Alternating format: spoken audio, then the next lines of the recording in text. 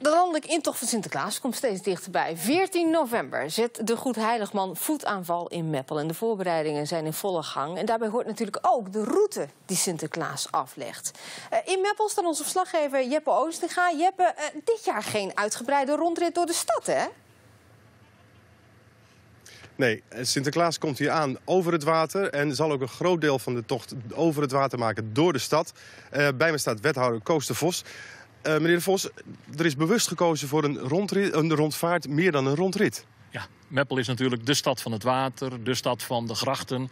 Het is ook niet voor niets dat we Sinterklaas krijgen, omdat we zo'n waterrijke stad zijn. En dan zou het zonde zijn als we de grachten niet zouden gebruiken om Sinterklaas binnen te leiden.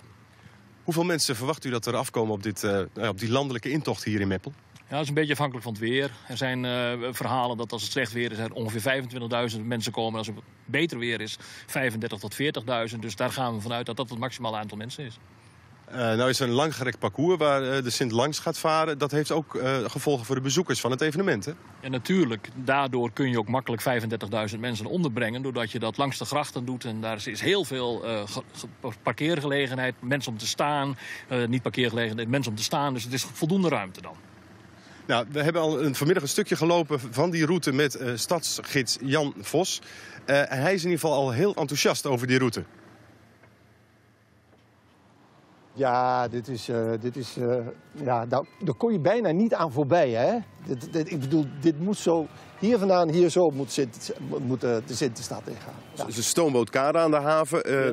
Bij uitstek zou dat de plek zijn voor de stoomboot van Sinterklaas. Maar ja, die wordt overgeslagen. Ja, maar dat komt ook, dat ben ik wel met je eens, maar we hebben, eentje verderop hebben we nog een mooie plek. En dan kunnen we de mensen nog meer van de mooie binnenstad van Meppel laten zien. Ja, Vos, als ik u zo hoor, dan bent u wel enthousiast over uh, de route die de gemeente heeft bepaald voor Sinterklaas. Ja, geweldig toch. Ik bedoel, wij, uh, de, onze grachten komen optimaal in beeld. Hè? ik bedoel we pakken hier de Keizersgracht, de Herengracht, straks de, Prinsen, de Prinsengracht nog. En de grachten zijn toch een beetje onze kroonjuwelen hè, van Meppel, vind ik toch eigenlijk wel. Het bruggetje is wel wat smal. Ja, daar keek ik ook eigenlijk naar. Ik, ik vond eigenlijk ook dat het wel wat smal is. Maar ik ga ervan uit dat er een paar ambtenaren uh, het opgemeten hebben en de boot opgemeten hebben en gekeken hebben of dat kon. Want uh, ja, uh, dat kunnen we ons natuurlijk niet veroorloven als Meppel. Dat het niet lukt. Nee, dat komt goed. Dat gaat goed komen. Ja. Maar het is wel smal. Ja. het is wel smal. Hopen dat het goed gaat daar met het smalle bruggetje. Met de naderende aankomst van Sinterklaas is ook de discussie rond Zwarte Piet weer opgeleid. Voor- en tegenstanders die hebben al aangekondigd naar Meppel te komen. Collega Steven Ophof die peilde wat de mensen op straat ervan vinden. Meppel besteedt er nu heel veel geld aan om, omdat hij hier komt. Maar de rest van het land denkt, mooi, wij zijn er vanaf. Want al die rilletjes, al die ongein eromheen. Ik vind dat Zwarte Piet gewoon Zwarte Piet moet blijven. Zoals het is. Het is een traditie, daar ga je toch niet zomaar overboord gooien. Waar, waar, waar, leven wij dan? Moeten wij van andere mensen alles opdringen laten? Het is altijd zo geweest, dus uh, het moet gewoon zo blijven zoals het is. Ik vind het niet discrimineren, Zwarte Piet is Zwarte Piet. Er is zoveel ellende in de wereld en dan een kinderfeest, moet je je daar dan zo over aanstellen? Dat snap ik niet. En Jeppe, zijn ze in Meppel ook bang dat de 14e demonstraties komen? Nou, dat vraag ik aan wethouder De Vos nogmaals. Meneer Vos, bent u bang dat het kinderfeestje verstoord gaat worden door demonstranten? Nee, daar ben ik niet bang voor. Het woord zegt het al, het is een kinderfeestje. Volwassenen zullen daar volwassen niet mee omgaan. En natuurlijk is bekend dat er voor- en tegenstanders zijn, de Zwarte Pieten discussie. Maar we gaan met die mensen praten en we denken dat we ze een goede gelegenheid geven... om ook op die dag hun uh, ongenoegens of genoegens te uiten.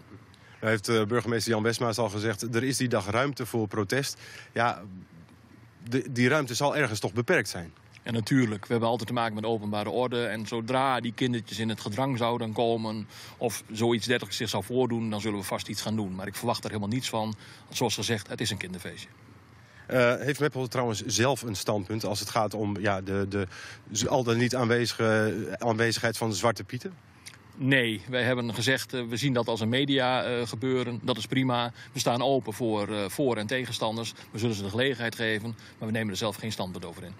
En hopen dat het kinderfeestje niet verstoord wordt? Ik verwacht zelfs dat het kinderfeestje niet verstoord wordt. Nou, we gaan het allemaal zien, uh, zaterdag 14 november.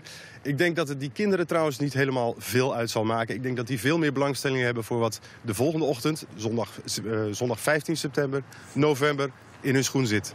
Dat denk ik ook. Jeppe, dankjewel.